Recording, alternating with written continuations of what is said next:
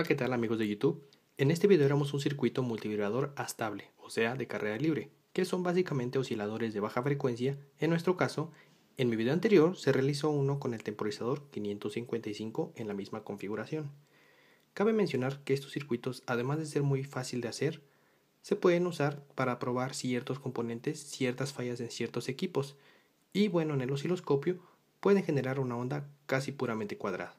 Bueno, vamos a ver cómo se hace. Ahora amigos procederemos con la lista de materiales. Necesitaremos dos transistores NPN, pueden ser 2N3904, 2N2222 de propósito general. Dos diodos LED, puede ser del color que gusten.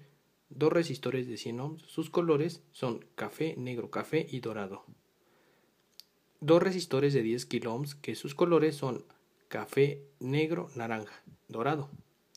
Dos resistores de 1 kilo ohm, que es café, negro, rojo, dorado dos capacitores electrolíticos de 10 microfaradios y algunos cables. Bueno, vamos Antes de armar el circuito, veremos su diagrama y cómo funciona.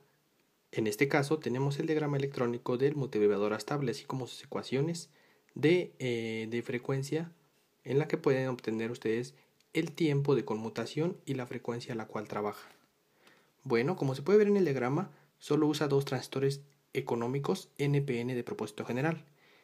En efecto, el colector del transistor T1 está capacitivamente acoplado a la base del transistor 2, mientras que el transistor 2 está desacoplado capacitivamente a la base del transistor 1, que en efecto funciona debido a la retroalimentación positiva que hace que un transistor se encuentre encendido mientras que el otro está apagado. Las constantes de switcheo o de conmutación están dadas por la constante de tiempo T1 y T2. Ahora, la velocidad de conmutación del multivibrador es gobernada por el capacitor 1, este que vemos aquí, que se descarga a través de la resistencia 2 y C2, que es el capacitor que está aquí, se descarga a través del resistor R3 que está conectado al colector del segundo transistor. La señal producida para el multivibrador es una onda cuadrada casi perfecta. Esto significa que bueno, la salida la pueden obtener colocando aquí una prueba. Y bueno, se puede ver en el osciloscopio una onda casi cuadrada perfecta. Para nuestro caso, en el circuito que vamos a armar, R1, que es la que va directamente a la base del transistor 1, tiene un valor de 10 kilo ohms. R2, que va al colector del transistor 1, tiene un valor de 1 kilo. Y lo mismo con el otro transistor. Los valores del capacitor son capacitores electrolíticos. Aquí vamos a marcar su polaridad para que puedan validar cómo se conecta vamos a marcar el positivo de cada, de cada capacitor, perdón, y así poder identificar sus pines para evitar eh, fallas en nuestro circuito. En la misma salida del colector de cada transistor se va a colocar un LED y una resistencia que tiene un valor de 100 ohms. Se puede conectar directamente, bueno, pero para trojear los LEDs en caso de que se conecte un voltaje más alto, se pone un resistor para limitar la corriente que pasa a través de ellos.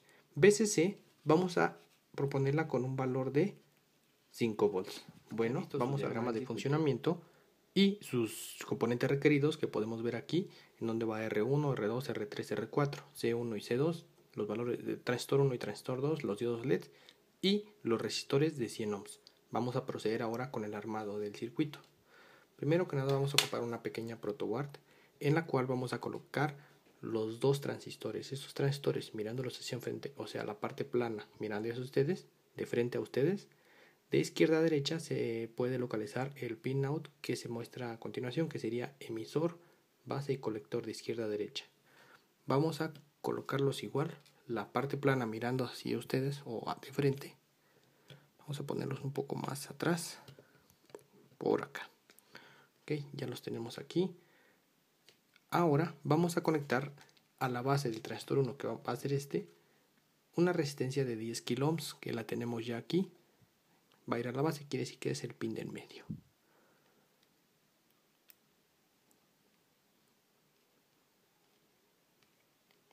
Ok ahí está. Va conectada a la base del transistor Igualmente, a la misma base del transistor 2 va R4 que igual tiene un valor de 10 kilo Vamos a conectarla del positivo que va conectado todo aquí a VCC. Estas cuatro resistores van a VCC a la base del transistor 2. Entonces sería aquí. Positivo y el otro extremo a la base. Ya tenemos conectadas ahora las bases. Vamos a conectar ahora los colectores. El colector del transistor 1 y el colector del transistor 2 llevan la misma resistencia que tiene un valor de 1 kilo. En este caso es su código de colores café, negro, rojo y dorado por la tolerancia de 5%. Lo conectamos al colector. Debemos recordar que el colector es emisor base colector que sería el primero que está aquí. Entonces lo conectamos igualmente a positivo. Ok, ya está conectada una. Vamos a conectar la otra.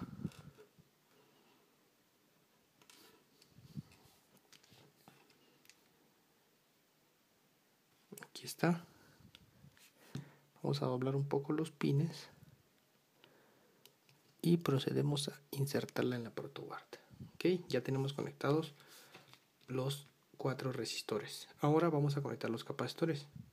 El diagrama nos indica que tenemos que conectar un capacitor 1, que su polaridad está indicada por este signo positivo, a la base del transistor 2 y el otro extremo al colector del transistor 2, perdón. Aquí va al conectado a la base del transistor 1 y al colector del transistor 2. Debemos recordar que aquí, por ejemplo, donde se cruzan estos cables, solamente donde están los puntos hay conexión. Donde no hay conexión, por ejemplo aquí, aquí no se conecta nada, sino que pasa directo y se va al colector del transistor 2. Viene de la base del transistor 1 y se va al colector. Eh, hay otros diagramas que, bueno, los capacitores están cruzados, pero bueno, lo dibujé así para que sea un poco más entendible. Bueno, vamos a conectarlos. Entonces agarramos un capacitor electrolítico. Debemos recordar que la parte que está indicada aquí con una franja es el negativo y el otro es el positivo, obviamente conectamos a la base, que sería el pin del medio. Y como no nos alcanza todavía las patitas del capacitor, vamos a poner un pequeño, un pequeño cable para hacer la conexión completa, que va directamente hasta el colector, que sería el pin 3 que está hasta acá. En este caso hacemos lo siguiente. Aquí está bien. Y aquí está bien, ok hemos conectado del colector al capacitor que es el negativo, como se puede ver aquí. Ahora hacemos lo mismo, venimos de la base del transistor 2, ponemos el positivo del capacitor y lo llevamos al colector.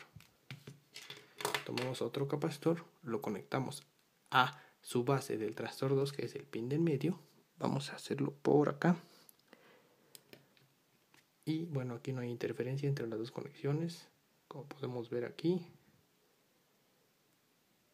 como nos hace falta un poquito más de cable bueno vamos a tomar un cable un poco más largo y vamos a hacer que llegue hasta el hasta el mismo colector que es el, el pin 3 mirándolo izquierda derecha entonces vamos a hacer su conexión así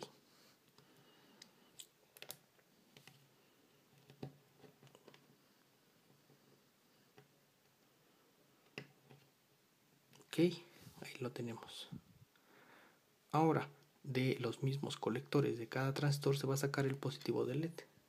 Para identificar el positivo, bueno, primero que nada es más fácil identificar el negativo del LED, que es la parte donde está aplanado de acá, la pata más corta, o si lo miran por dentro, tiene como un, bueno, está un poco difuso, pero tiene un yunque acá, una forma como de bandera triangular. Así pueden identificar el negativo. En este caso, este diodo, bueno, es nuevo, y el pin largo es el, el que es el positivo. Conectamos en el colector de cada transistor. Hacemos lo mismo con este diodo LED.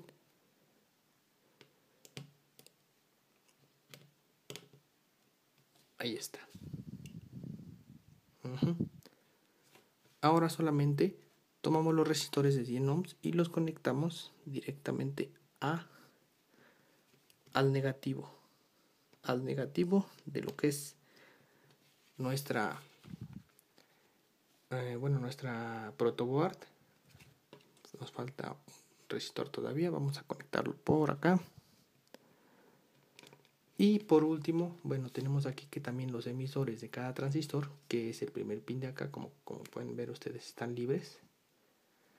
No se ha conectado nada. Vamos a simplemente tomar un cable y los conectamos directamente a negativo. Hacemos lo siguiente.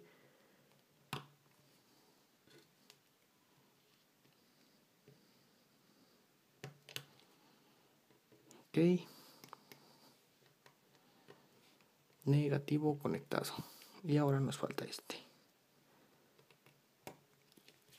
Bueno nos quedó un poco movido el circuito pero es exactamente igual a como nos indica el diagrama. Ahora vamos a conectarlo.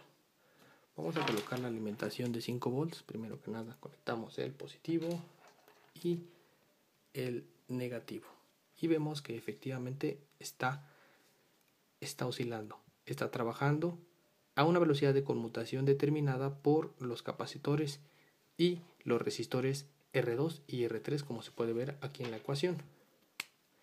En el caso que quieran cambiar o calcular la frecuencia, bueno, multiplican 0.7 o en este caso si tienen ya un valor fijo de capacitor que se lo recomiendo porque es más difícil encontrar un capacitor que no sea comercial, por ejemplo de 12 microfaradios o 14, pueden establecer el valor fijo de capacitor y solamente calcularían con la constante de tiempo dada el valor del resistor 2, que es lo recomendable.